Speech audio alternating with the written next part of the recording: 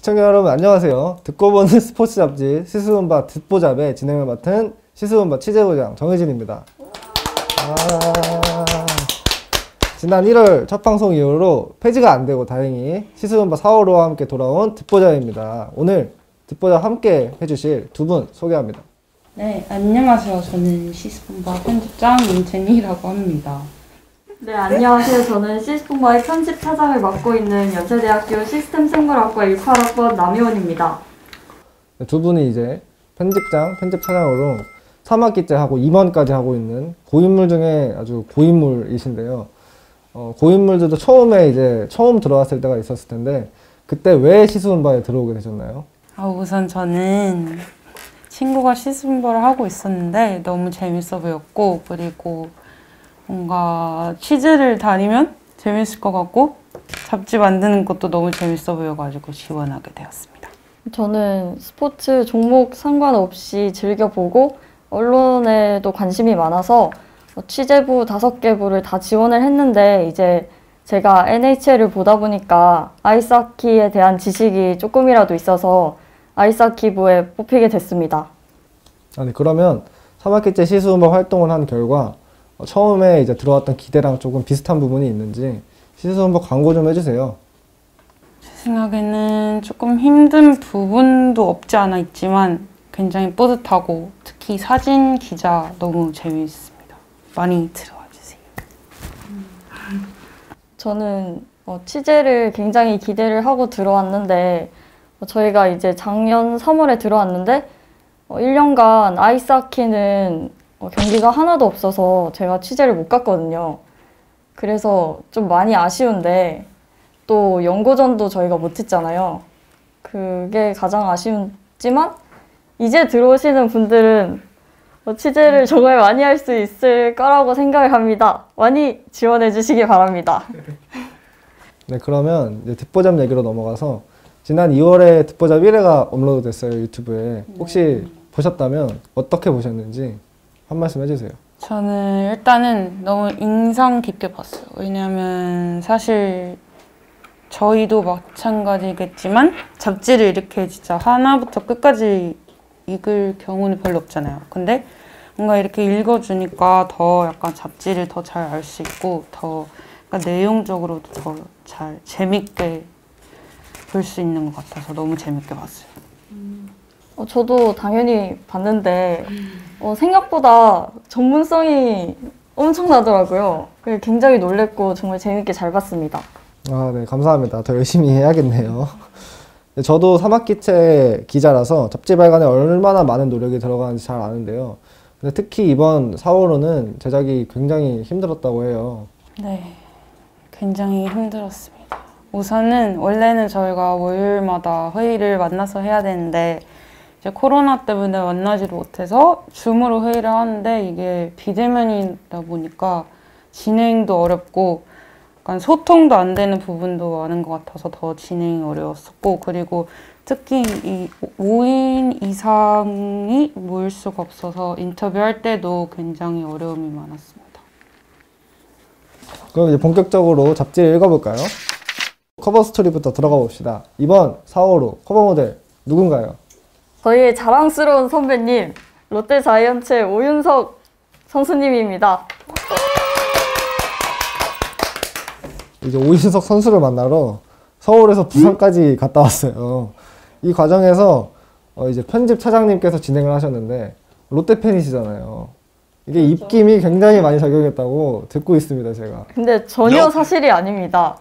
만약에 제 입김이 작용을 했다면 롯데 자이언츠 이인복 선수도 아마 함께 했지 않았을까. 왜냐면 제가 네 그걸 밀었거든요. 그럼 오윤석 선수 실제로 보니까 어떠셨나요? 굉장히 잘생겼어요. 근데 사진 제가 봤을 때도 사진으로 다 그게 못 담겨가지고 조금 아쉬운 부분이 많았습니다. 네 그리고 성격도 굉장히 젠틀하세요.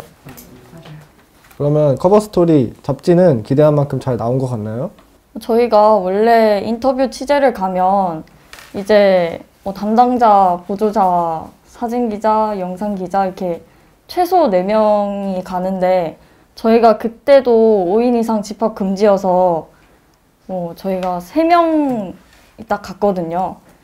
어, 그래서 굉장히 아쉬움이 많았고 또 인터뷰 내용이 굉장히 다양하고 풍부하고 길었는데 저희가 분량이 정해져 있다 보니까 어, 굉장히 많이 잘라내가지고 그게 아쉬움이 정말 컸습니다. 네, 그래서 저희가 어, 듣보잡 촬영 전에 시스붐바 부원들 대상으로 이번 4월호에서 내부 조사를 했는데 커버 스토리가 오윤석 선수의 이런 담백한 얘기를 굉장히 진솔하게 잘 풀어냈다는 평을 받으면서 가장 인상 깊은 코너 1위로 선정이 됐습니다. 그러면 이거에 대해서 직접 커버를 쓰신 남혜원 기자의 생각이 소감이 어떠신지 한번 들어보고 싶은데요. 아, 정말 가문의 영광이라고 생각합니다. 시스붐바 부원들 감사합니다. 어, 안 그래도 지금 마침 KBO가 개막을 해서 어, 커버가 딱 시기가 좋았던 것 같아요. 네. 그러면 시스붐바 4월호 커버 스토리 지금 읽어드리겠습니다. 네, 이번 커버 스토리에서는 스포츠 레저학과 10학번 롯데자이언츠 내야수 오윤석 선수를 저 남혜원 기자가 만났습니다. 2015년 12월에서 1군에 데뷔한 소회를 밝힌 오윤석 선수는 올해 1월 5년 만에 한층 여유로워진 모습을 보여줬습니다. 지난 시즌 리그 최초로 그랜드 슬램을 포함한 사이클링 히트라는 진기록을 뽑아낸 오윤석 선수는 이번 시즌 확실히 1군 자리를 꿰차기 위해 구슬땀을 흘리고 있었습니다. 코로나19로 혼란스러운 시즌을 보낸 심정과 사이클링 히트 당시의 소감, 찬스의 유독 강한 비결까지 모두 담아봤는데요. 어, 특히 마지막 순간까지 사이클링 히트인 것을 알아차리지 못했다며 1군 경험이 적어 여유가 없어서 그랬던 것 같다고도 했습니다. 또한 드래프트 지명을 포기하고 선택한 연세인으로서의 생활을 회상하며 만족감과 남다른 애교심을 드러내기도 했는데요. 끝으로 이제는 팀에 정말 필요한 선수로 거듭나는 것이 꿈이라고 강조했습니다. 네, 잘 들었습니다. 다음은 스포츠인 코너인데요. 이번 스포츠인 코너에서는 누굴 만났나요? 네, 저희 이번 스포츠인에서는 올블랑 운영 총괄 이사 서정은 선배를 만났습니다. 서정은 이사는 경영학과 공학번으로 세계 시장을 겨냥한 홈트와 라이프스타일 미디어 스타트업인 올블랑을 창업했습니다. 올블랑 유튜브 채널 올블랑 TV는 164만 구독자를 보유하고 있기도 합니다. 164만 구독자라니 저희 시스붐바 TV의 정말 강력한 라이벌이네요. 어떤 콘텐츠가 주로 올라오나요? 네, 고강도 간격 운동의 일종의 타바타, 챌린지나 브이로그 등 누구나 보고 쉽게 따라할 수 있는 홈 트레이닝 영상을 올리고 있습니다.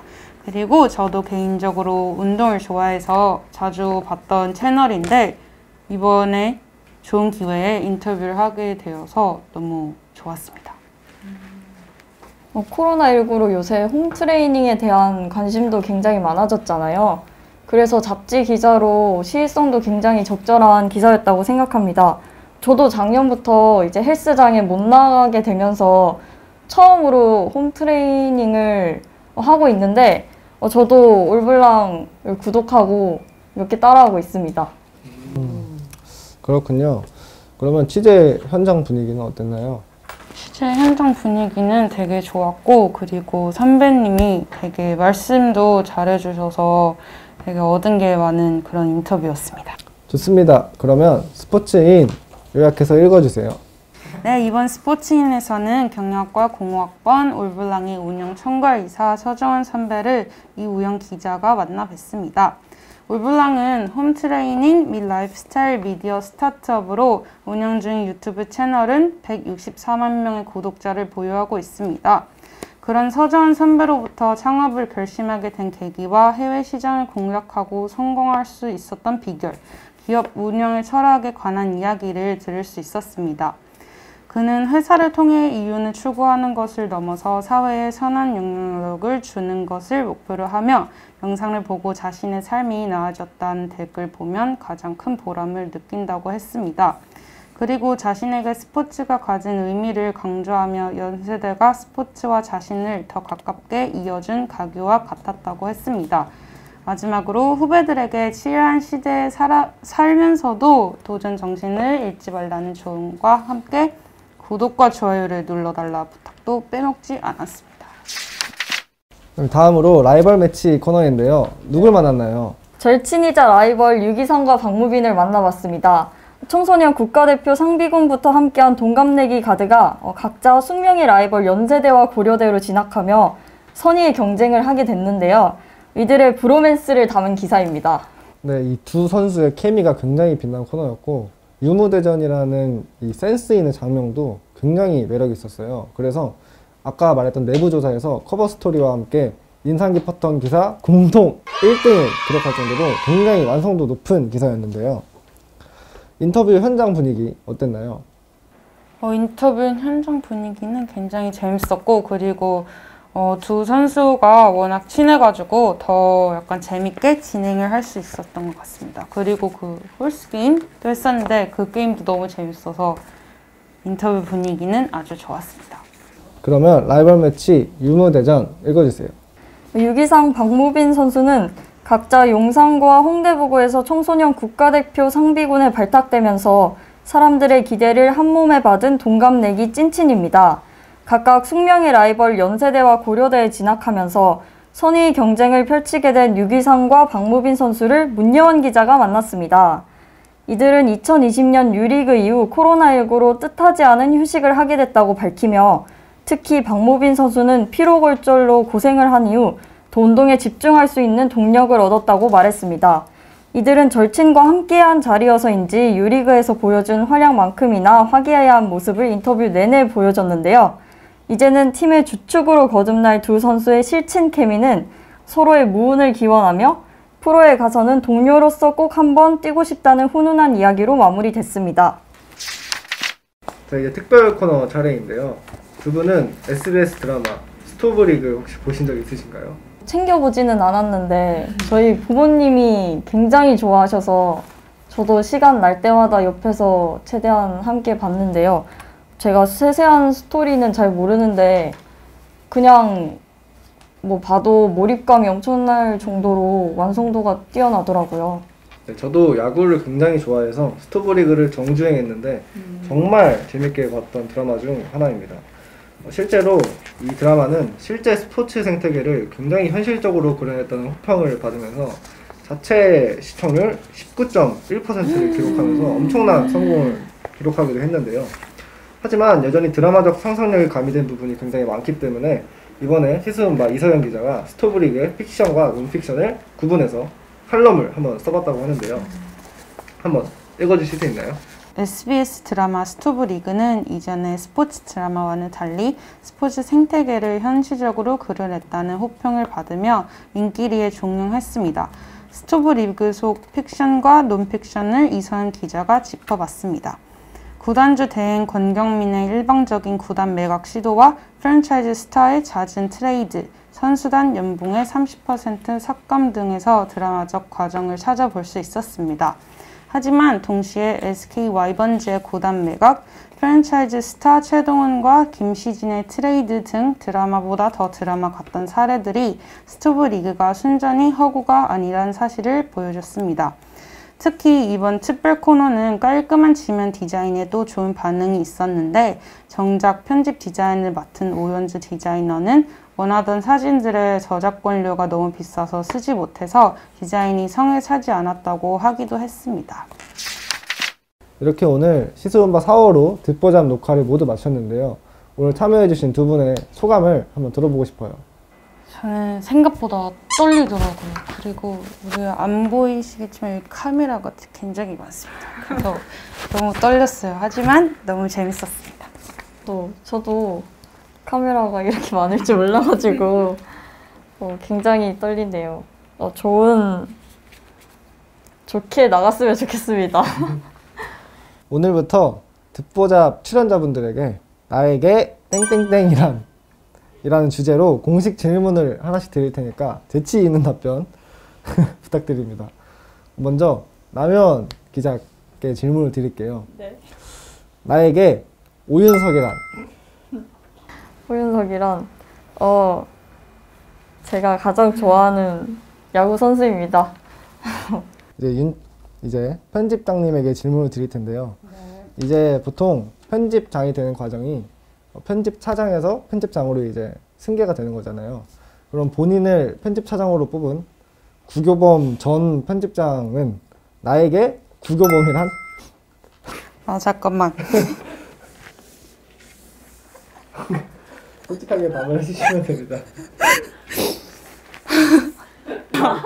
야 이거 솔직하게 말해도 되는 건가? 구교범이란 나에게 구교범이란 사기꾼. 이렇게 좋은 간체를 이끌어 줄 수 있는 기회를 준 굉장히 귀한 분이라고 생각합니다. 네, 잘 들었고요. 그럼 오늘 두 분의 인사 말씀을 끝으로 녹화 마치겠습니다. 저희가 4월호를 맞이해서 이렇게 듣보잡 촬영을 하게 됐는데 4월호 많이 사랑해 주세요. 저희가 생각보다 잡지 제작이 쉬운 일이 아니기 때문에 잡지 하나하나 만드는 과정에서 그러니까 모든 모든 동아리 부원들이 함께 힘을 써주는 결과물이라서 많이 봐주셨으면 좋겠고 그리고 6월호도 많이 봐주세요. 네, 저도 이제 7월이면 취재부장 임기가 끝나서 듣보잡 촬영은 오늘이 마지막일 것 같은데 이렇게 좋은 추억을 선물해준 영상부한테 굉장히 고맙다는 말 하고 싶고요. 특히 저희 시스음바 잡지 만들 때 정말 많은 사람들의 노력이 들어가니까 한 번씩 많이 관심 부탁드리겠고 전문을 보고 싶으신 분들은 연세대학교 신촌 캠퍼스 곳곳에 배치되어 있는 시스음바 잡지를 봐주시고 블로그, SNS 또 다 많이 찾아와 주시면 좋겠습니다. 특히 시스음바 TV 유튜브 좋아요와 구독 부탁드립니다. 특히 6월호는 온라인으로도 발간이 되니까 많은 것이 부탁드립니다. 감사합니다.